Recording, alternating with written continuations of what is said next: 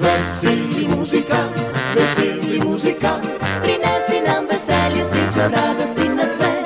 Veseli muzikant, veseli muzikant, za vreska in za boj močno na glas. Veseli muzikant, veseli muzikant, široko nam raztegni, široko nam raztegni, široko nam raztegni zlati dih.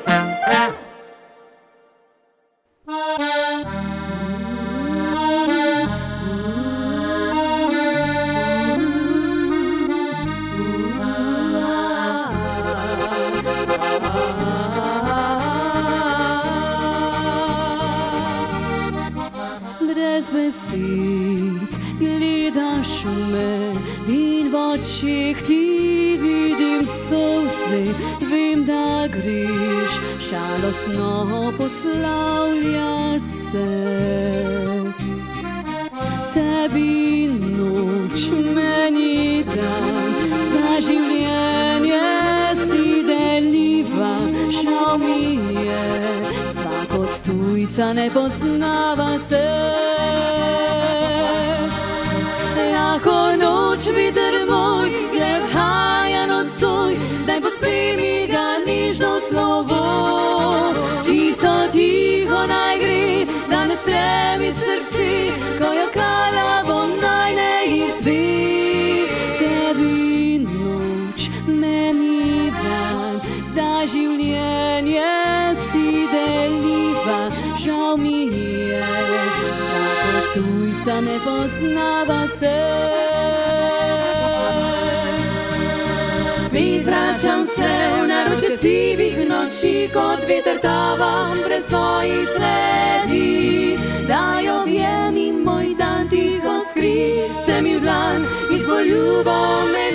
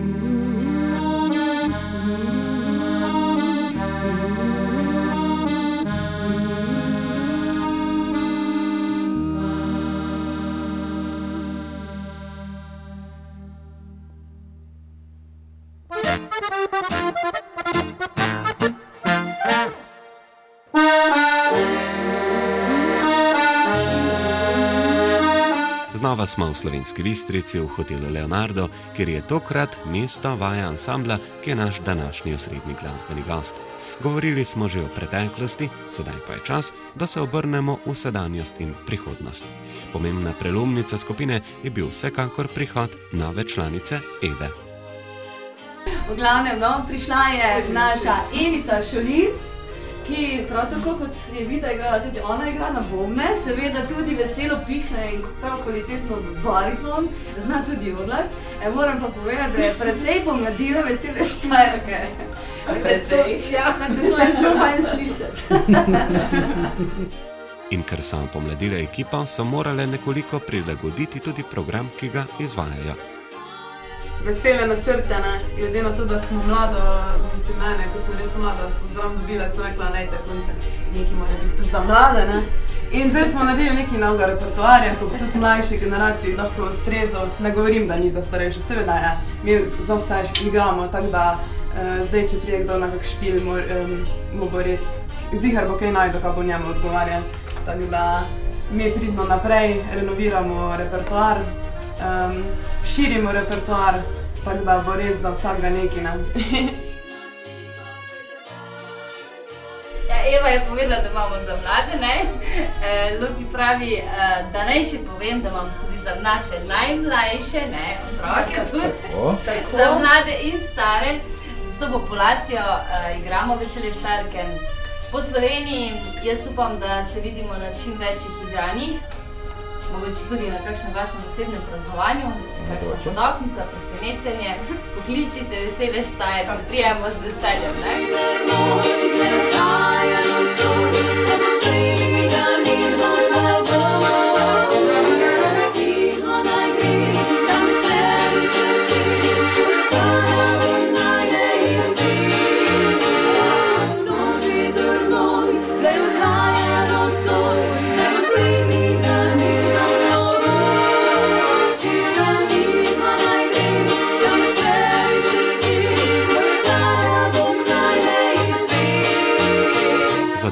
Ansambl je pomembno, da ima dobro izoblikovano lastno podobo. Ta veselim štajerkam očitno ni tuja. Vse pa pripravljamo tudi, bomo obnovili spletno stran. Uh, naj povem, da smo se uh, pred kratkim fotografirali in bomo ravno zdaj po vajah um, gremo na eno kavico in bomo uh, izbrali fotografije, ki jih bomo tudi potem uporabili za spletno stran. Eh, tako da že komaj čakam, da jih pu- punce bodo danes prvič videli, jaz sem navdušena. Eh, tako da jaz, vam, jaz sem za to, da še punce eno, eno zaigramo za naše gledalce, eh, pa potem gremo na kavico in povemo še kaj za prihodnost in kaj bomo danes počeli. No, pa pričnimo. Ko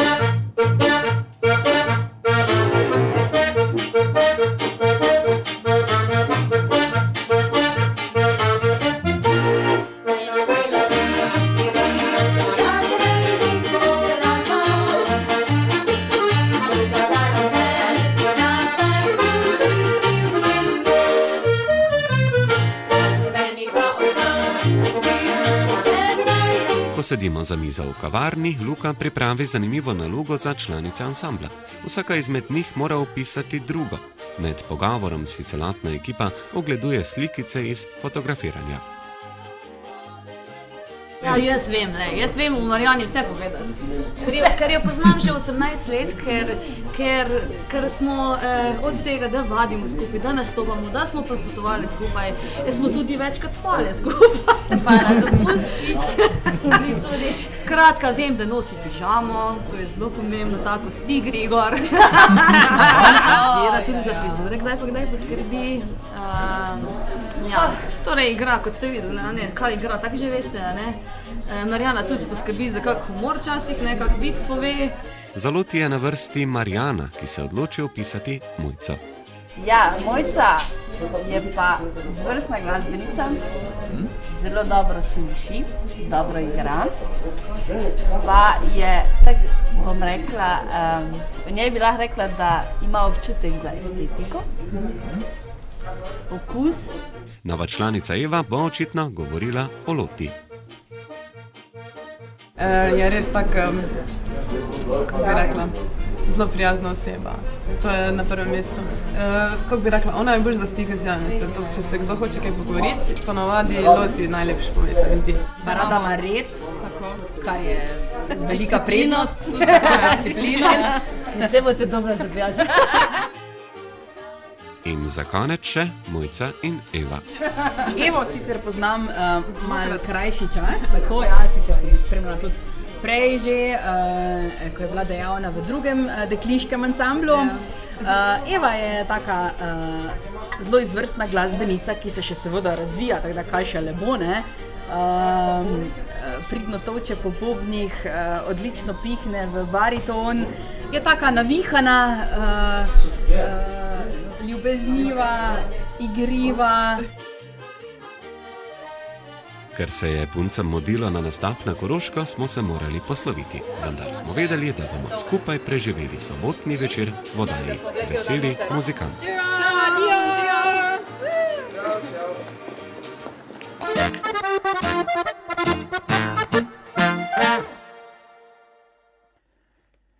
Jo, zdaj, dragi moji, malo berem, eh, sem tu malo se pozanimal tudi, pa gledal sem jaz vesele štajerke, one so bile tudi na teh eh, narodno zabavnih, ne, pa kaseto sem kupil vesele štajerke, Pa berem zdaj, kira je vesela Štajerka.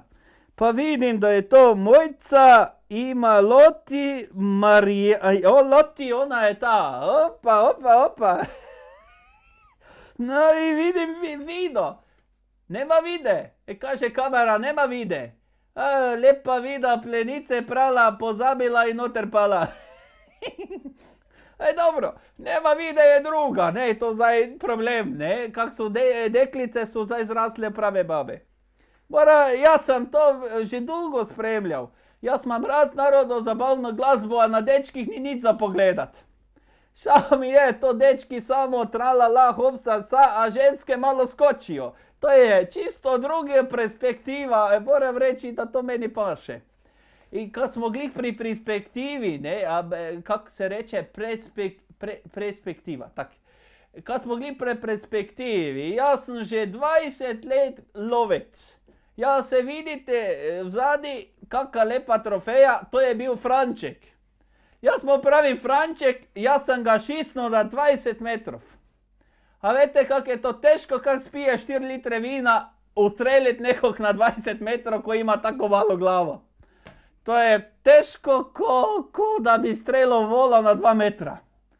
Je debreš, kad te je tak strah, da ne moreš vola na 2 metra pritisniti. Večji vol. A jaz sem, žal mi je, ko sem Frančeka pokal, e, ker e, ko sem ga Frančeka pokal, došla je Micka. E, škoda, ka sem, ne, da, da sem Frančeka sfalo, ja bi zdaj bil samski. Mi, Micka bi pala, a Franček bi bil preživel. E. Ta, škoda mi je za Frančeka, je. dober je bil gulaš, kaj ti še. Tako da, e, zdaj bom jaz malo počival, ker me malo kolki in to me muči, pa moram malo zdravila vzeti, je rekla gospa doktor, da moram malo šlukniti. Malo se mi je nabralo. Kamerman, boš ti tudi malo? Ne, ovi Tonček, koji snema tu, Tonček, on je tak. Nič ne bi pil, a ga vidiš, tak je žalosten, da ima povešene oči. A kaj mu ja morem, neće dečko nič da pije. Škoda, Tonček, dobro je. Ne, šef je tu. Ne, šef je išel, išel je. Jaz sem šefu naredil lisičje jetrce, malo sem ospražil. Tako sere, da ga ne mora dve ure vidi priti. A to so stare jagrske fore. Vidimo se, fajn bodite, jaz bom pa zdaj šel malo in malo šefa ven butno, ke mene tu malo napelo. Ja, pozabil sem, da ne smeš probati lisički jetrice, ko daš naprej. A kaj češ?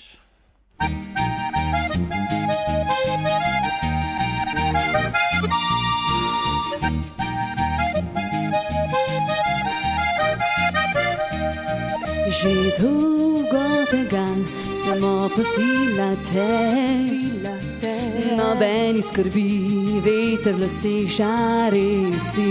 S tvojimi pogledi si mi sega v srce in podoba tvoje sedaj mi krade noči. Hočeš me ali nočeš me, daj povej mi, kaj želiš. Ne, ne, ne, ne, ne muči me, ko me ljubiš, potem pa zbežiš. Hočeš me ali nočeš me, ko boš videl, mi povej. Te, usliši me, da me ljubiš, mi končno povej. Že dolgo tega samo pasila te, nobeni skrbi, veter na vseh žari si. S tvojimi pogledi si mi sega v srce in podoba tvoje sedaj mi krade noči. Kaj želiš. Ne, ne, ne, ne, ne muči me, ko me ljubiš, potem pa zbežiš. Hočeš me ali nočeš me, ko boš videl, mi povej. Prosim te, usliši me, da me ljubiš, mi končno povej.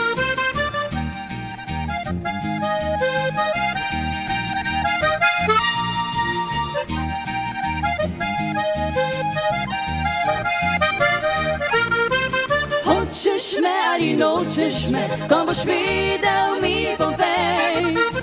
Prosim te, usliši me, da me ljubiš, mi končno povej. Da me ljubiš, mi končno povej. Še nekaj odličnih trenutkov nam je ostalo, da boste preživeli čas torej, v dobri družbi veselega muzikanta. Za vas, spoštovani in spoštovani, pa navodilo, da le glasujte. Cel mesec marece ob koncu torej, dobimo zmagovalce. E, torej, en ansambl je tisti, ki bo odšel v finale. Vsi vi pa torej, terensko in mesečno pričakujte lepe nagrade.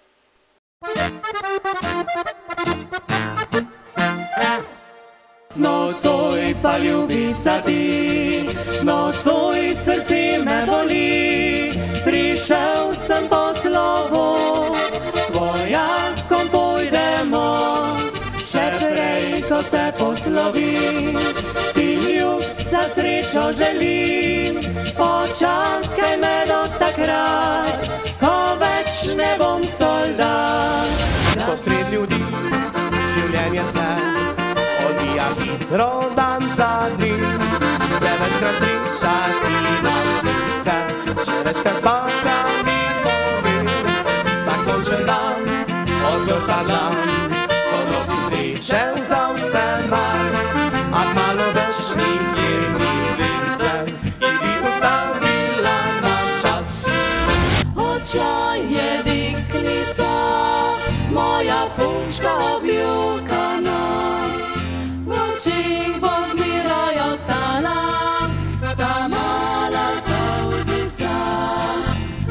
Odšla je deklica, moja punčka objokana. V očeh bo zmeraj ostala ta mala solzica. Nikar ne jokaj, mamica, ne bodi vedno žalostna, saj očka vrne se morda iz širnega sveta. In če ne pride več nazaj, obljubljam mamica ti zdaj, ko zrastem se potrudil bom, da lepo naj dom. Izmed vseh, ki boste oddali svoj glas, bomo izžrebali nagrajenca, ki bo prejel digitalni fotoaparat. Slavnostno smo otvorili naše oddaje in seveda upamo, da boste zdaj vsako soboto v naši družbi. In eh, teden dni je hitro naokoli in zagotovo bodite z nami zopet prihodnji teden, ko bomo skupaj z vami pisali nove glasbene zgodbe in seveda izbrali najboljšega. Torej, srečno in lepo se imejte. Bila frajtonarca je na glas, hitro minival do jutra je čas. Zjutraj napili smo zadnje moči in zapeli smo vsi.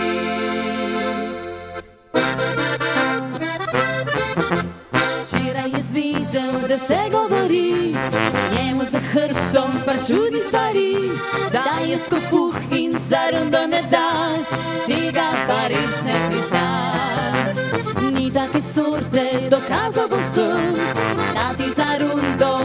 zarundo mu res ni problem, da vam besedo poznate ga vsi, to, kar reče drži, da je pir na hladno, zdaj je uradno, nocoj pri tebi fišta bo, na Facebook si napisal to, povabi se naj pridejo, pršut na reži in šunko mreži, soseda naj toplice gre, privi do konca zvočnike, naj se začne. Opa!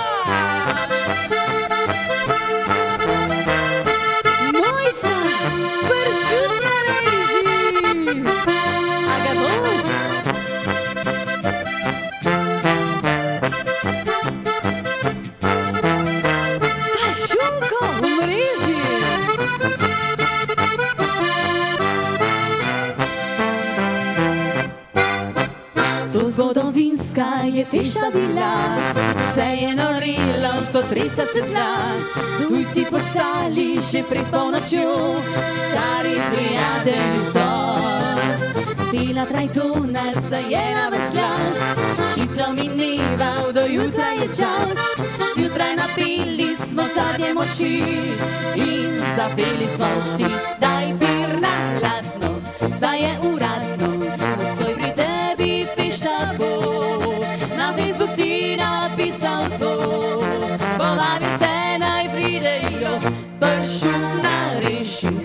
šunkom reši, soseda naj v toplice gre.